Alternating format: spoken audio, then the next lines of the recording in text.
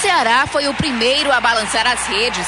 Aos 20 minutos, o time saiu na frente com esse golaço de Oswaldo.